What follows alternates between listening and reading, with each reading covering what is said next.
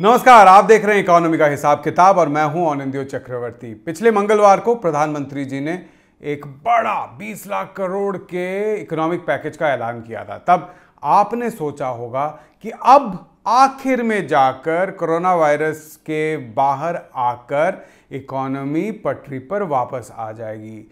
लेकिन निकला क्या वो? निकला एक बड़ा सा लोन मेला। इससे किसको फ़ायदा होने वाला है? आप हमको तो बिल्कुल नहीं होगा। ये फ़ायदा होगा सिर्फ़ सूट बूट वाले कॉरपोरेट का। आप पूछेंगे ये कैसे हो सकता है? इतनी आसानी से नहीं बताऊँगा। पूरा का पूरा वीडियो देखिए। आज का इस लोन मेले का हिसाब किताब पूरा देखिए।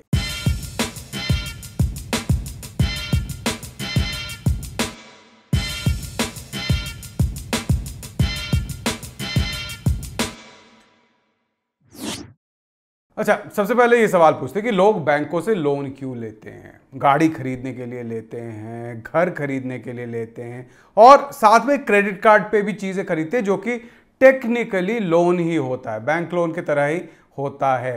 अब, आप तो लोन तभी लेंगे ना जब आपको लगे कि जितना मुझे ईएमआई देना है, उससे ज़्यादा मेरी सैलरी बढ़ेगी या मेरे पास पैसा होगा तो मैं आराम से ईएमआई दे दूँगा, चाहे वो गाड़ी का हो या वो लोन हाउस लोन का हो या क्रेडिट कार्ड का बिल हो। लेकिन इस वक्त जब लोगों की नौकरियाँ जा रही है, नई नौकरियाँ नहीं मिल रही है, पे कट हो रहा है, क्या आप लोन लेंगे? नहीं ना, क्योंकि अगर आप ये नहीं जानते कि आप पैसे वापस दे सकते हैं तो आप लोन नहीं लेंगे। खैर, ये हुआ पर्सनल लोन की बात। लेकिन ज़्यादातर जो लोन बैंक देते हैं, लगभग तीन चौथाई लोन जो बैंक देते हैं वो बिज़नेस लोन होता है, कारोबारियों को लोन दिया जाता है। इसमें लघु, छोटे, मझौले और बड़े बिज़नेस सब होते हैं। यही सबसे ज़्यादा बैंकों से लोन लेते हैं। वो लोन क्यों लेते हैं? अगर आप अर्थशास्त्र, यानी कि इकोनॉमिक्स का कोई भी टेक्स्ट बुक खोलकर देख लेंगे तो आपको बताया जाएगा कि कारोबार, किसी भी कारोबारी का क्या होता है कि वो बिज़नेस बढ़ाने की कोशिश करते हैं, उसका साइज़ बढ़ाने की कोशिश करते हैं। जब उनको लगता है कि मैं जो चीज़ बना रहा हूँ, इसके ज़्यादा खरीदार हो सकते हैं तो वो क्या करते हैं? निवेश करते हैं। मशीन खरीदते हैं फैक्ट्री बिठाते हैं, नया ऑफ़िस लेते हैं, माल खरीदते हैं और इस माल से ज़्यादा पैदा करके ज़्यादा चीज़ें बनाकर वो बेचते हैं और उससे उनका बिज़नेस फैलता है। खैर, सबसे पहले वो क्या करते हैं? टेक्स्ट बुक में कहा जाता है, वो अपना पैसा सबसे पहले लगाते हैं।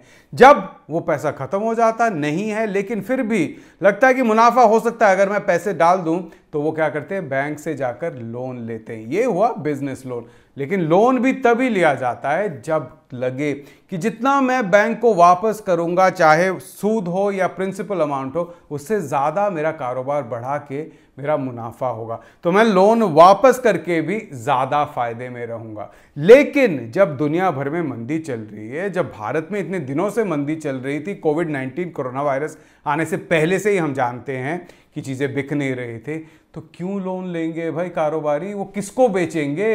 अगर जिनको बेचा जा रहा है, उनके पास नौकरी नहीं है, काम नहीं है, उनके आय नहीं है तो वो क्यों खरीदेंगे? तो फिर निवेश भी कौन करने वाला है? तो ऐसे में ये बात साफ़ है कि सिर्फ़ लोन देने से ये इकोनॉमी वापस पटरी पर नहीं आएगी। किसी को फ़ायदा नहीं होने वाला, लोन लेने वाला कोई नहीं है अगर खरीदार नहीं होंगे।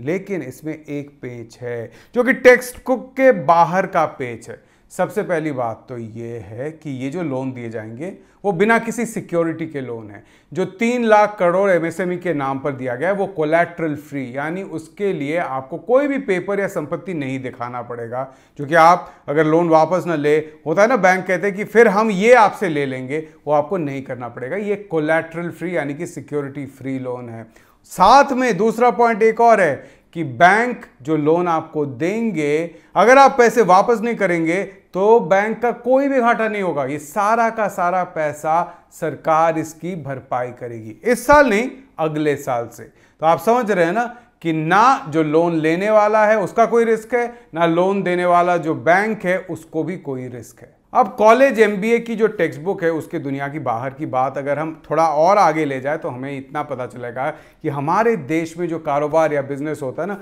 वो टेक्स्ट बुक की तरह नहीं चलता है। कुछ चंद बड़ी कंपनियाँ हैं जो ज़्यादातर सेक्टर में पूरे मार्केट पर जिन्होंने कब्जा कर रखा है। अब सरकारी कॉन्ट्रैक्ट इन्हीं को मिलता है। बहुत सालों से इनका पॉलिटिकल कनेक्शन के चलते इनकी ग्रोथ हुई है। ये मार्केट को कब्जा कर पाए हैं।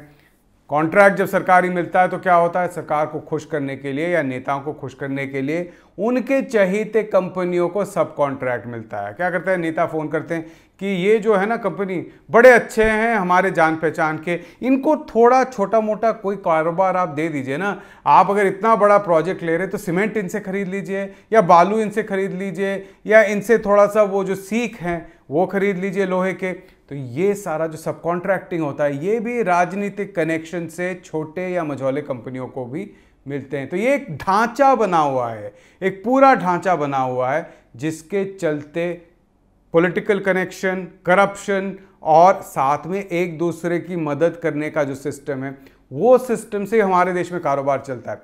अब कारोबारी क्या करते हैं? वो लोन लेने जाते हैं बैंक पे बैंक को फ़ोन आ जाता है मैनेजर को फ़ोन आ जाता है या चेयरमैन तक को कभी कभी फ़ोन आ जाता है, ऐसा सुना गया है। पहले सुना गया है, सुना जाता था कि मंत्री महोदय या किसी नेता ने फ़ोन कर दिया और कहा कि ये जो कंपनी आ रही है ना सर, ये बहुत बढ़िया कंपनी है, इनको आप आराम से लोन दीजिए, आपका कहीं नहीं जाएगा ये लोन टाइम पर वापस मिल जाएगा। ये लोग क्या करते हैं? लोन लेते हैं। अब सेकंड पार्ट आता है खेल का, और ये हुआ प्रोजेक्ट फाइनेंसिंग। अब किसी कंपनी को प्रोजेक्ट मिला हुआ है और उसके लिए वो लोन ले रहे हैं। बैंक क्या कहते हैं कि देखते हैं, देखिए, आपका जो प्रोजेक्ट है, इसका 20 प्रतिशत खर्चा आप अपने पैसे से उठाइए और हम 80 प्रतिशत लोन दे देंगे। अब कारोबारी क्या करते हैं? कारोबारी कहते हैं कि 80 करोड़ का ये प्रोजेक्ट है, किसी तरह घुमा फिराकर पेपर पे इसको 100 करोड़ का दिखा देते हैं खर्च। 100 करोड़ का खर्च दिखाते हैं, बैंक के पास जाते हैं 80 प्रतिशत बैंक से लोन मिलने वाला है, कितना मिलेगा? 80 करोड़। असल खर्च कितना था? 80 करोड़। यानी कि कारोबारी का अपना रिस्क कितना है? ठेंगा। एक पैसा भी लगाने की ज़रूरत नहीं है। मुनाफा हुआ तो मुनाफा अच्छा खासा उनका हुआ। बैंक का पैसा वापस दे दिया। अगर प्रोजेक्ट डूब गया तो कारोबारी का या कंपनी का क्या फ़र्क? प्रोमोटर का एक पैसा भी तो नहीं लगा ना। ज़्यादा से ज़्यादा क्या होगा? वो कंपनी चली जाएगी। अब हमने पैसे जब नहीं लगाए कंपनी में तो हमें क्या प्रॉब्लम होने वाला है? प्रोजेक्ट ले लो बैंक।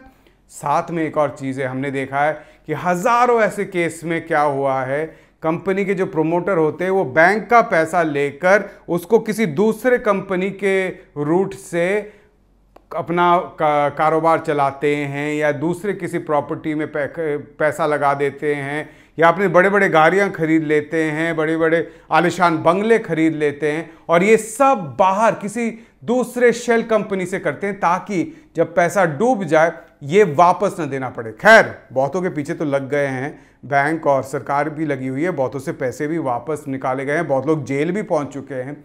लेकिन ये इसीलिए ना क्योंकि कोलेट्रल था, बैंक का रिस्क था, बैंक को पैसे वापस लेने पड़े।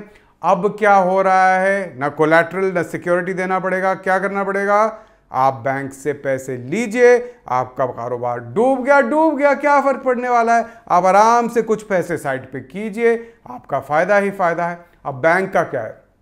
अब देखिए खराब लोन यानी कि एनपीए हम देख लेते हैं, जो लघु, छोटे और मझौले यानी एमएसएमई सेक्टर होता है, उनको लगभग सत्ताईस प्रतिशत कुल जो बिज़नेस लोन है वो मिलता है। उनमें से लगभग साढ़े बारह प्रतिशत खराब लोन है, यानी वापस नहीं आने वाले हैं। अभी लेटेस्ट जो हमारे पास फिगर है, जो इनमें से मझौले, यानी कि थोड़े बड़े कारोबारी हैं, कंपनी है, उनका एनपीए यानी कि खराब लोन का रेट कितना है? 18 प्रतिशत। उसके ऊपर हम अगर जाएँ, लगभग जो मैंने कहा कि तिहत्तर प्रतिशत बिज़नेस लोन बड़े कंपनियों को जाता है। तो बड़े प्रोजेक्ट और बड़े कंपनियों को जो तिहत्तर प्रतिशत बिज़नेस लोन गया है, इसमें से खराब लोन का रेट कितना है? लगभग बीस प्रतिशत।